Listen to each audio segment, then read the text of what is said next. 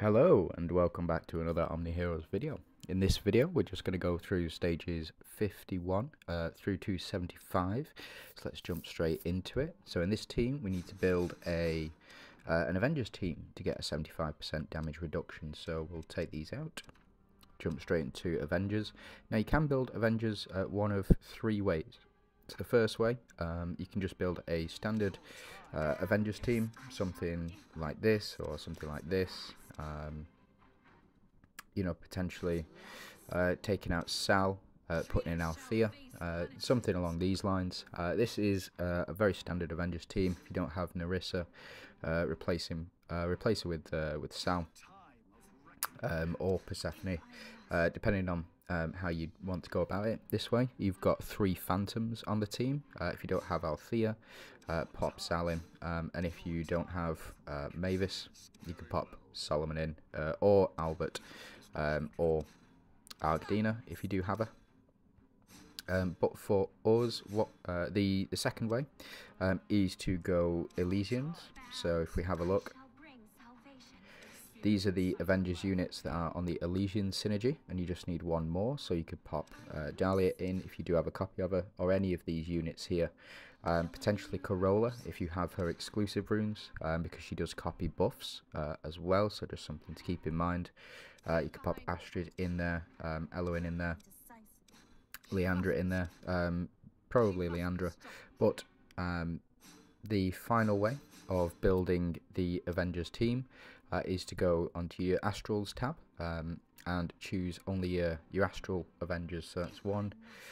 Uh, I think there's four in total. Yep, two, three, four.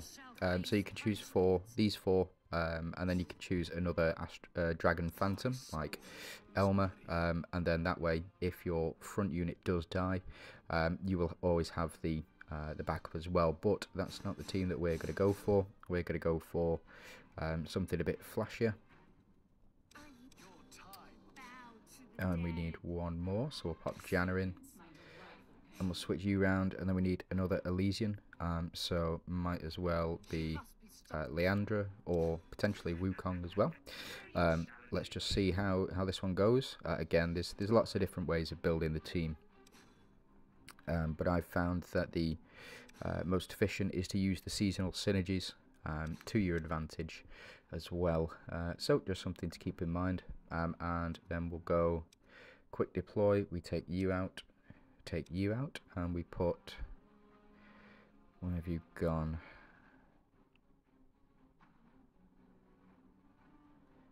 There we go.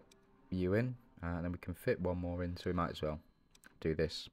Um, so yep, that's the relics. Uh, the idea is to the start of each round, Mystical Fountain uh, reduces attack and defense.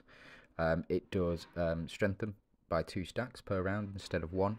Uh, we'll do additional crit uh, after dodge, retaliates with a basic attack, increasing speed. We can take these out actually, and we can uh, pop in the dodge one. Uh, and we've got one more left, so we'll put in a damage boost as well and let's just see how this one goes. Um, now I've been experimenting with Wukong. I've got him up to nine stars uh, as it stands. So his um, secondary, uh, his ultimate, and his uh, second active skill um, uh, are all now properly leveled up.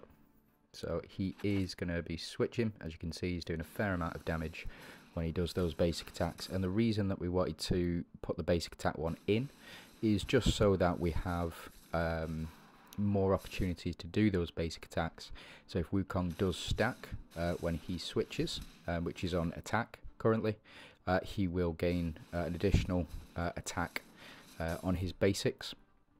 So whenever he does a basic attack, he will do sort of 10, well, up to 10 damage as well. And we'll see that when these guys start attacking, if they do start attacking.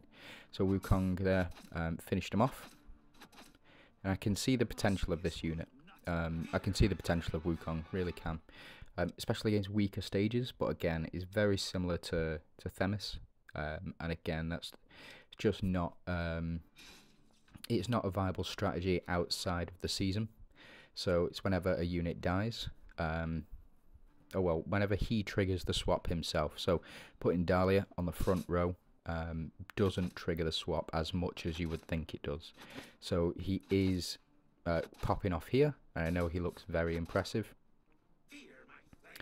Um, but again, it is something to uh, to keep in mind that um, when the seasonal buffs go away, that's when he's going to be much less impressive, I think. Uh, but we'll keep going. Uh, we'll keep going with it and just see how well uh, he does perform within this team, within the Elysians team. As you can see, um, we are gaining attack, um, and we do take them out very quickly, it seems, because he's doing sort of 10,000 million um, on his first attack, so he's just wiping the floor with them.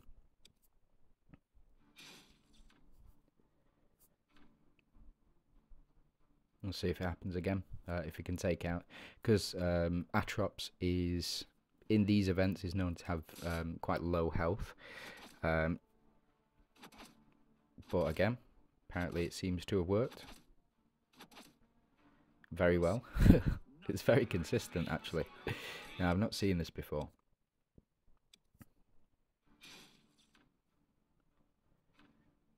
But it is very cool. And every time he switches, or every time uh, the switch activates, he's going to get stronger uh, and start to build up. And he's also going to um, apply that stack of Holy Shield as well. So just something to keep in mind.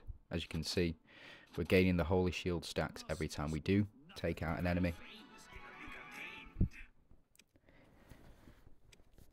But we'll just have to see how well he does perform uh, moving forward.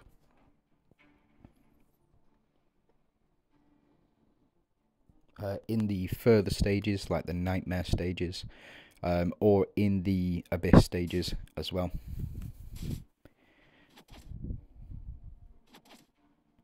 Ah, no kill that time. So we'll see how well he performs now, now that he's not got his first kill. And it's because of the uh, the holy shield stacks as well. But we are getting a lot of uh, relic triggers. Uh, that is thanks to the chest here. So the chest, in case you don't know, if you do have um, units of different types, uh, faction synergies, uh, up to four faction synergies, um, then he will, uh, then the relic will trigger um, twice, or have the opportunity to trigger twice. Each relic will, which is why we've got the the double triggers here.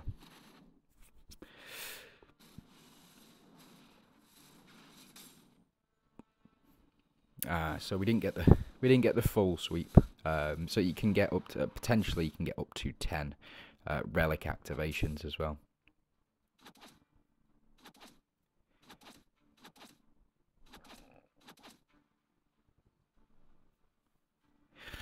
Man, that is quite powerful. It seems it anyway. It seems very flashy. Um, and it's it is I I do get it. You know, if you're trying to if you're trying to um, you know grind your way, uh, grind your way through uh, relatively weak um, relatively weak stages like these stages are, um, I do understand. You know, so we take the the shields off, um, but we don't get this trigger, so we do sit through effectively. I think what we'll do is go ahead and skip at the next available opportunity in about 10 minutes.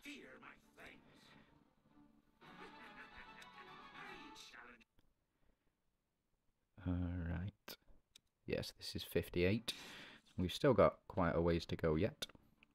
So again, gone round one. And that's because our enemies um, have relatively low health, but he is doing a fair chunk of damage to them um, sort of 10 million per time.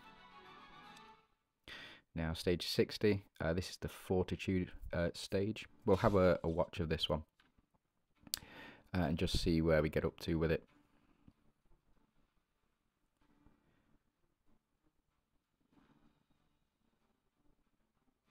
Oh, that's fine. Huh. Everything was going very slowly. Ah, oh, shame. No kill on the follow-up attack.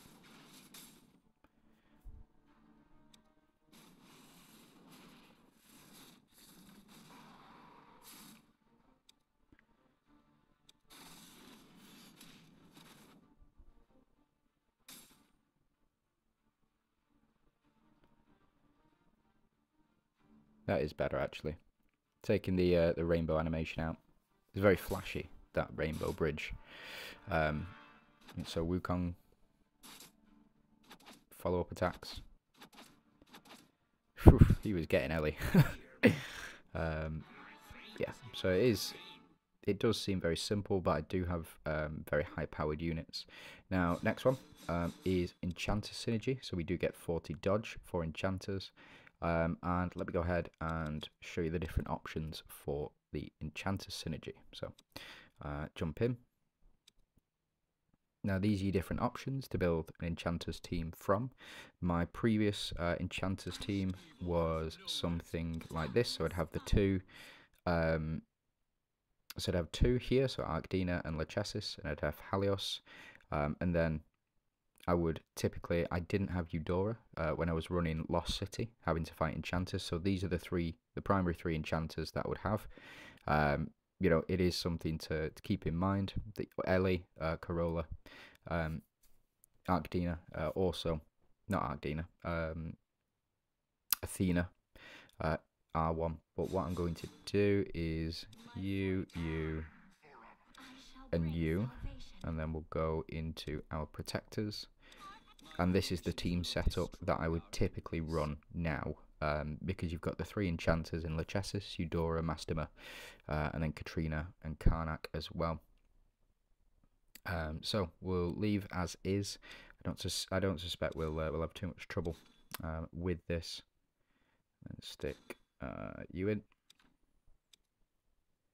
Let's just see how well this team performs. Now we have uh, triple um, triple Celestials um, team in Eudora, in Lachesis, and in Karnak. So Lachesis, hopefully to remove as many of the Holy Shields as possible, uh, or Eudora to, um, you know, do what she needs to do.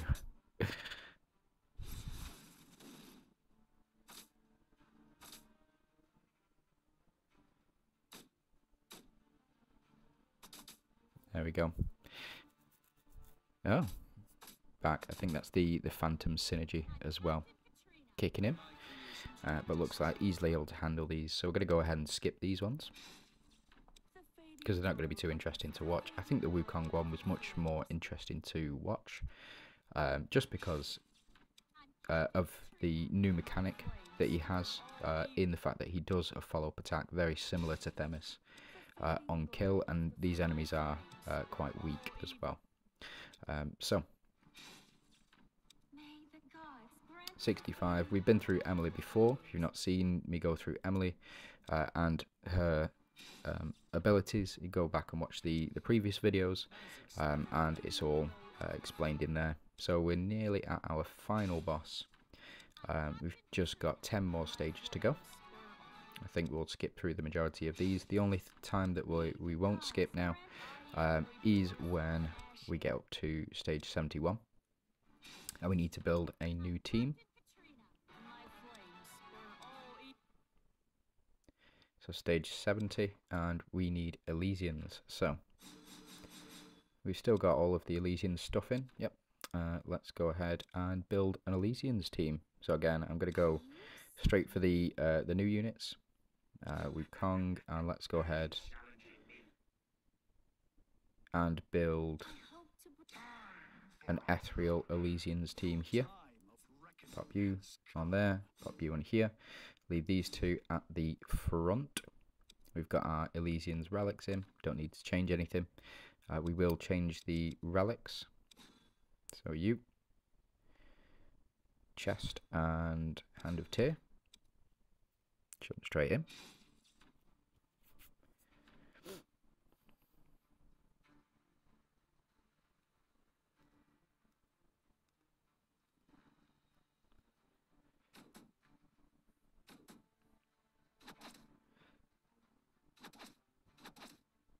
Go.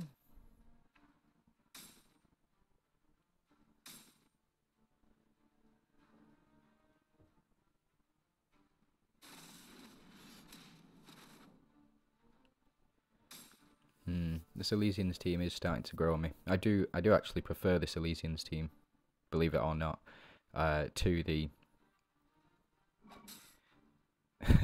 uh, to the previous uh, to the the Astrals team. Funny enough, AC curse has been applied, uh, or it had been applied. Um, oof. It had been applied.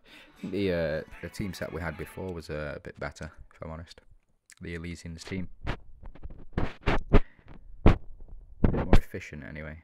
Uh, right, who do we have? We had Janna, so take out these two. Janna and who else do we want? Pop Astrid in. Um, and then I'll show you the combo. So this is the the, the new combo, um, or it will be following on from the season. So you have Dahlia and Wukong in the front, um, and I'll just show you as to why. Um, now, if you disregard the Elysian synergy, so every time a unit takes action, uh, they'll switch. That is not particularly the case or what we want.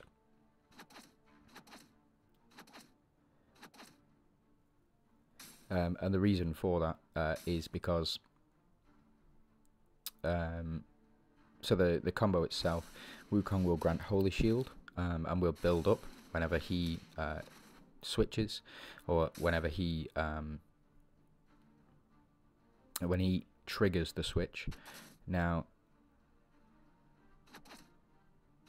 Dahlia will then copy all of the buffs um, that Wukong has, and then Wukong with his red runes will copy all of the buffs that Dahlia has.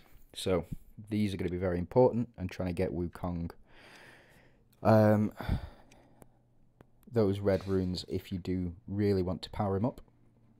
I think uh, I think you really will need those red runes. I don't think the epics are going to do it, and I don't think the in-between um, is going to do it either. So we're going to go ahead and skip until we get to stage 75 now.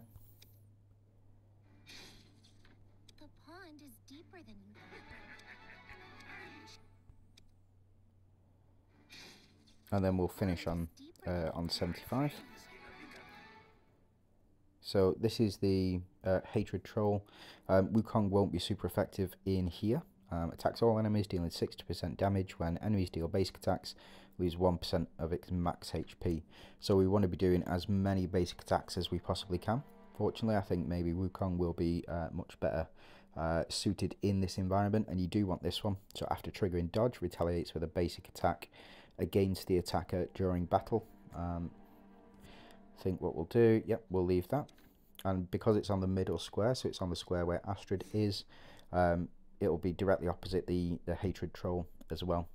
So uh, let's go ahead and jump in. Uh, this is a different synergy, by the way. So if you are struggling, uh, it is the Valianters synergy. Um, and the reason for that is because Valianters uh, are known to do a lot of big attacks very early on.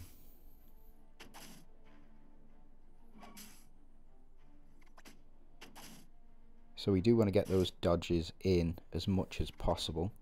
So as you can see, every time we do dodge, um, we'll retaliate with that basic attack.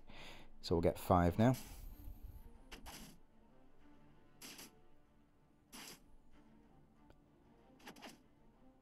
And there we go, Wukong to finish it off. And that's stage 75. Um, it, it, might have looked easy, but if you're finding it difficult, I wouldn't worry too much about it. Just get that Avengers Relic in, um, the one that gives you dodge chance for basic attacks, and you'll breeze through this one, uh, I promise you. Now, uh, that's it for me, uh, and I am just going to leave it on. Um, thank you very much for watching. Uh, if you do have any questions or any queries, any comments, anything I've missed, please let me know down below. Um, and if uh, you can like and subscribe to the channel, we really appreciate it. Thanks very much for watching. You have a great day.